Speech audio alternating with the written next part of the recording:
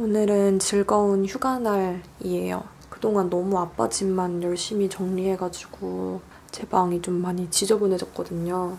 그래서 오랜만에 방 정리 좀 하려고 합니다. 일단은 제가 공책을 열심히 비우고 있는 걸 아실 텐데 이 공책을 다 썼어요.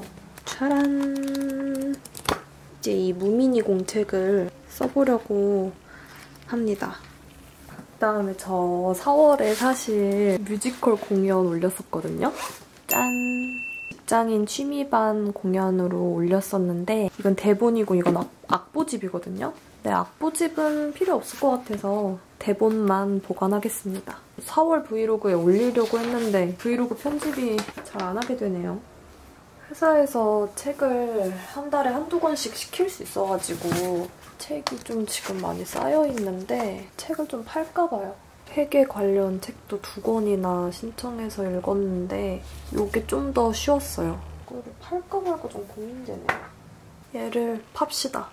그 다음에 여기는 정리를 해도 해도 지저분해지는 곳인데 필름 카메라는 필름 카메라 통에 넣어주고 저희 동네에 제, zero waste shop이 생겼거든요.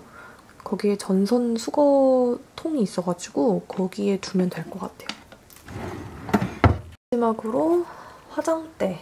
이거 드라이기 고장나가지고 샀을 때 준 거치대인데 안 써서 이거 버리겠습니다. 차마 몇 년도에 가져왔다고 밝힐 수도 없는 이 호텔 이런 거 옛날에는 참 왜 이렇게 열심히 챙겼는지 모르겠어요. 아무튼 이거 다 써가지고 둘 다 완전 비었거든요. 두 개 버릴게요.